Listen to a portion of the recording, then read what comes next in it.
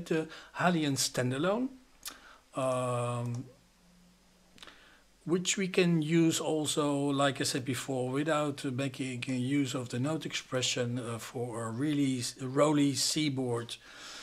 Um, let's put in, I go to my own library here, Dimension 5, which I created uh, the sounds for, still working on it. Let's, I don't know, Alien Temples. Let's take Alien Temples, for instance.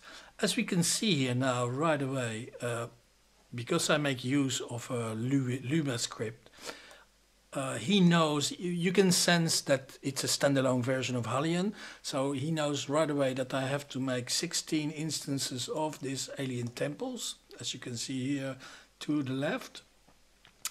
And uh, normally, uh, boop, boop, boop, if we go to the modification matrix, everything is set up already with the right note expression, but also the, the global. So now we don't meet, uh, we don't use the note expression, so we use the normal uh, um, controller messages like aftertouch and the CC sound uh, cont 5, which is the CC74.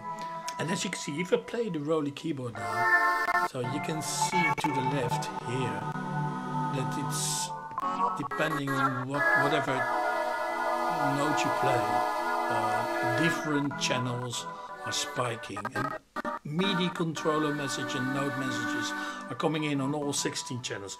And it's, it's working okay. The slide is working, the pressures are working.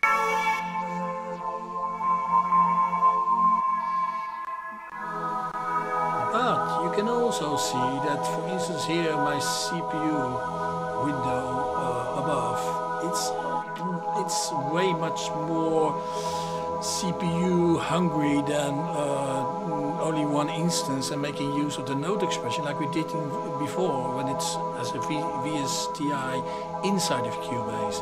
So you can play it, uh, uh, the Seaboard rise with the Halion standalone, but um, CPU use will definitely rise.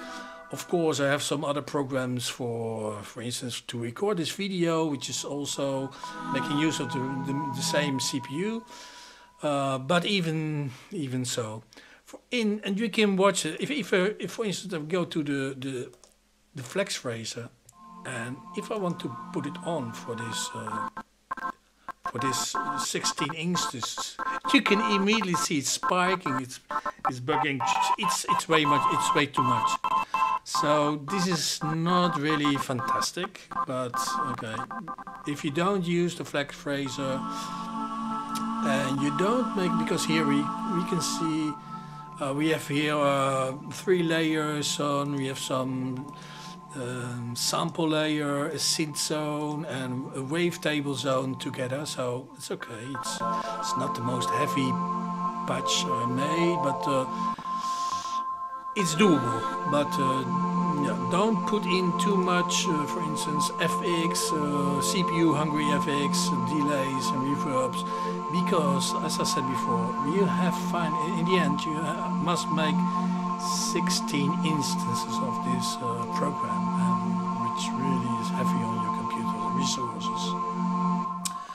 But as you can see, we can play the Roli, it's working nice with the Halion standalone and with uh, making use of the, the Lua script.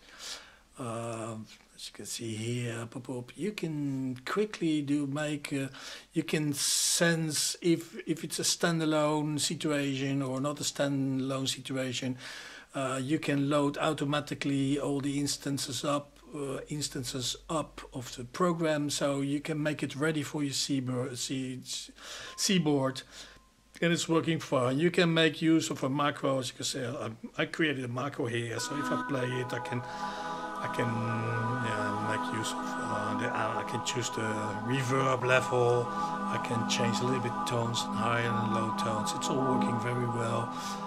Can even put on the FlexPhraser, which of course I showed you is not a very good thing to do when it's in standalone situation, but it's all, uh, it's all working nicely.